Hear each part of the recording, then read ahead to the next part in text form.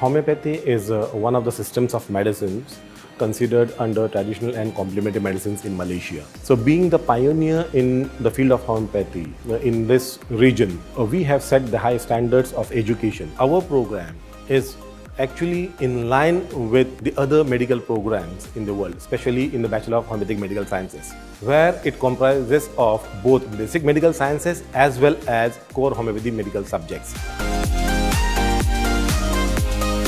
I chose homeopathy because it treats a person holistically, so it involves the psychological state as well as the physiological state. I chose University of Cyberjaya because it's near to the airport for me as I can commute home easily as I live in Sarawak.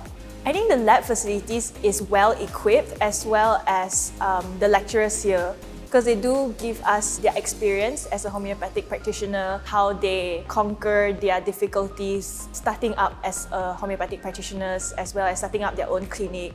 So it's an inspiration for us when we learn from them.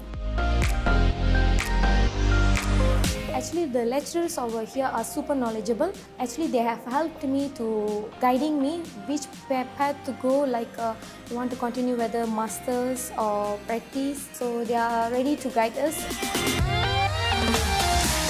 I graduated in 2017 and currently I'm a founder and also principal physician of Sophia Homeopathy Center located at Seremban. My experience here in one word is nurturing the lecturer will um, polish up our skill, will bring out our talent and also educate us with a qualified and quality of homeopathy studies. Uh, and my study journey is very pleasant. Actually, I enjoy the struggle of study week to compete with myself to get better grade. So I enjoy all the effort, all that, yes. Um, I welcome them to get into homeopathy world and I know they will be in love with homeopathy.